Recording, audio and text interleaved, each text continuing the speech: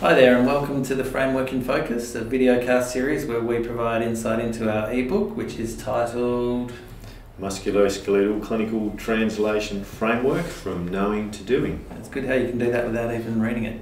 A bit of a mouthful, so we shall hereunto refer to it as the framework. Uh, we hope this series will complement the ebook, providing additional insight into the whys, whens, wheres, and hows of the framework. And this goal aligns with our ongoing efforts to facilitate knowledge translation in the management of musculoskeletal pain. We are at number 10 whole person considerations. This is our warning slide where we tell you we are talking about a single element today, but actually uh, that's a bit false because all elements are important and they're all interrelated and that's particularly pertinent why we've got this one called whole person. Yes. because it is that step back. There's good quotes around this, I think, Darren, isn't there? I think you might have found one, Tim. I do. Why don't you read that one? The trick to forgetting the big picture is to look at everything close up. Yes. that's from Chuck. The, the, from Chuck, the man behind the Fight Club. Yes, and, and how many rules about the framework are there, Tim? Um, there's only one, which is about look at the big picture. Oh yeah. I was going to say there's only one. Share it with a friend.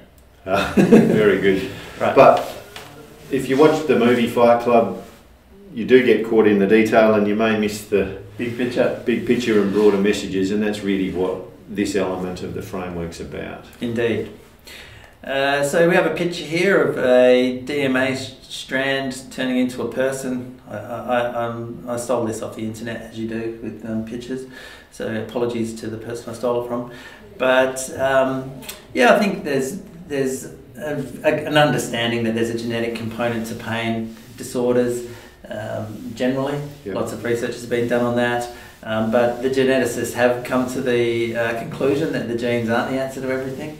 Um, and the behavioural scientists, uh, perhaps like us, uh, we've come to the uh, understanding that environmental factors are not all of it. um, so there is a, a, bridging of the gap between that, and epigenetics is maybe part of that bridge where gene expression is important, and um, understanding um, that that actually can probably change over time, yeah. Um, and um, probably does lead into um, we didn't talk about it before, but those early life stress events and adversity um, you know, in your life, particularly early in life, but at any time, and the effect that that can have on, on your system at that time. And and I, I often discuss this as like it almost primes your system, yeah. so then years later something can happen and it goes into overdrive.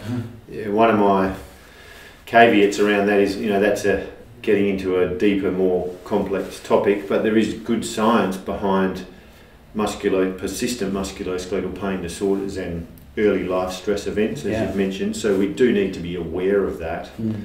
But how we deal with that, I mean, we may not need to go into that at all. So in the clinical setting, yeah, that could be a bit more individual. I think if Pete was here, he might say like, you know, how if you've had these stress events in the past, how did you deal with that? And are there similarities to how you're dealing with the situation in front of you now? Yeah, I agree. That's particularly helpful at times. Yeah. But you're not going to say to every patient, "Oh, have you had any significant life stress events?" No, no, it's it's it's not something you do day one. I wouldn't say, but some people will come out and give you their whole life story. And yeah. I mean, we're, we're talking about you know significant things around sexual abuse and those kind of um, things here. Other things around, you know, there's other stress, life stress events that uh, might be more pertinent to the recent future around weddings, change of job, loss of job, yeah. different things like that. because it's linked with persistent pain disorders, I find rather than questioning anything on that specifically, um, I think we possibly talked about this earlier, of knowing about someone's symptoms and broadly their bigger picture, knowing do they have other pain disorders? Yeah. And that's where that can be really important if they said, yeah, look, I've had long term migraines or irritable bowel syndrome, or I'm diagnosed with um, fibromyalgia yep. or restless leg syndrome. They're examples of other pain comorbidities that are known to have an increased risk of persistent pain when yep. someone, say, has developed a more focal pain, such as back pain or shoulder yep. pain, for example. And I think that's incredibly important. Like, uh, many times I might see somebody that comes in, let's say, with shoulder pain, and um, they're having troubles getting that better. Seemingly, they've had management that's reasonable, focused on that. Yeah. But actually, when you sit back and speak to them, yeah, they do have all these other things going on, and then potentially a very different mechanism of pain going on here that's actually more global and needs a different approach. Yeah, and we have talked about this earlier. That list of three things of when someone's symptoms have started. So let's stick with shoulder pain. Someone comes in and came in and says, "I've felt fallen over and I've really wrenched my shoulder and I felt something give or go give way in my shoulder when I fell over." That's a specific incident. Yeah. Um, someone may also say, I've been painting the house and I've been doing lots of stuff overhead, and with repetition of that, my shoulders got sore, versus the insidious onset, now my shoulder's just sore. Yeah. So, if you take someone with other comorbid health conditions, that's helpful. There's specific trauma there in the first instance, so the local pathology may be relevant irrespective of the underlying pain disorders. Yeah. That said, if they're not responding to management directed of the pathology, we need to be aware of those Mm. coexisting pain conditions Yeah. because that can certainly influence different pain mechanisms as we've talked about earlier Yeah. um, and also the prognosis around that so perhaps time frames for Yeah. example Might be different. yeah Uh, yeah, good. So um, I think um, maybe we'll go move on to kind of the non-pain comorbidities. Um, Yeah. So diabetes uh, comes to mind for me straight away. yeah Um, so things around the capacity of the body to heal and recover Yeah. so if there is specific tissue injury that's a, a classic example I mean, obviously something like tendon health, if someone's diabetic, their healing rate from injury or sort of recovery with tendinopathy type conditions, we know that'll be delayed. Obviously, nerve related issues in Yeah. conditions uh, such as diabetes, because you can obviously have diabetic neuropathy as part of that, but broadly, if someone has some of these health conditions, and the other one's metabolic syndrome, so yeah. broadly in terms of lower levels of general health. Again, healing rates and expected timeframes for recovery may change around that. Mm. Yeah, I have, I've had a patient um, over the last nine months, I guess, and that I've reviewed multiple times, and uh, he was diabetic, but well controlled, completely controlled by exercise, high Yeah. level of exercise. Uh, hurt his back at work, ended up with radiculopathy and surgery for that, um, but it hasn't been a great result in terms of pain and um, he has completely had to stop the exercise he was doing, and now his diabetes is out of control. So Right. the effect of the pain disorder then on the um, you, you know the health disorder is is um, quite pertinent in that guy's case. Yeah, so again, we've talked previously about the bi-directional relationships of things, Yeah. so that can certainly exist here.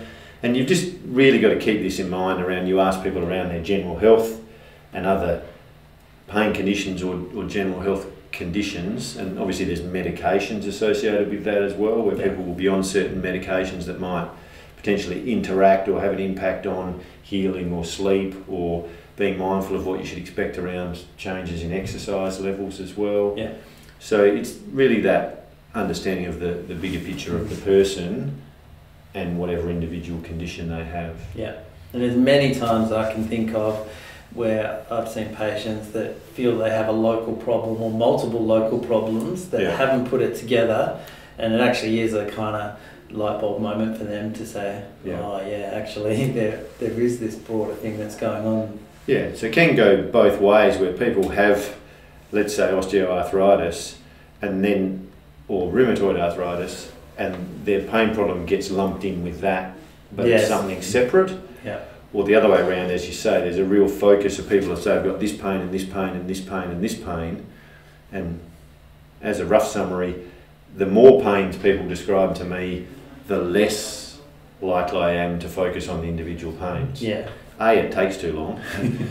but B, if you're chasing all of those all the time, you're probably wasting your time and you need to step back and go bigger picture, yeah, what's going on here. yeah, Yeah. yeah. Uh, good. Um, so whole person considerations, general health, comorbidities. Um, I mean, it links with a number of the lifestyle things that we've spoken Yeah, about in does. terms of obesity, um, diet, Yeah, smoking alcohol in a way. yeah. Um, other other things you wanted to Just- talk about on this? Yeah, just practical tip. In the clinic, we have screening questionnaires, which we've previously talked about. But if you have questionnaires that ask people, and ours do, about other health conditions, Yeah. so that's a red flag disorder screen, but it also brings this up, other pain conditions, and then also medications. So you can get patients to fill that out early on, and you can do a quick scan of that, so it doesn't necessarily take heaps of time. Yeah. And then we've got the sliding scale again Yeah. around how this is contributing. And honestly, there's no rule of, well, if you've got this, it means it's a big factor. The scale can change, but if you've flagged it as a potential relevant, it just really says, hang on, let's do our specific management if that's relevant early. If it's not working, Mm. let's reflect back on this. Yeah. And if you do that collaboratively with the person, you might say, look, you've got these other things going on. Yeah. I've got that in my mind. You've got this specific knee or shoulder issue. We're going to start managing that Yeah. as a shoulder or a knee issue. But if we're not getting there, we're going to Mm. reconsider these things. Yeah. And uh, I, I, I think this is one area that really probably transforms part of my care of people with musculoskeletal pain, like being a an experienced musculoskeletal clinician, but still treating this stuff as a tick box um, activity to then understanding how that integrates into practice. Uh, I'm sure that's made a big difference to the way I've dealt with a lot of people. And it certainly helped me then go with some of these patients. My brilliant treatment's not helping them at all. Yes. So, do I need to do more different brilliant treatments, or do I need to step back and look more broadly? And that's made me much more comfortable around not being able to fix everyone. Yeah. Um, and yeah, just have a broader perspective on it.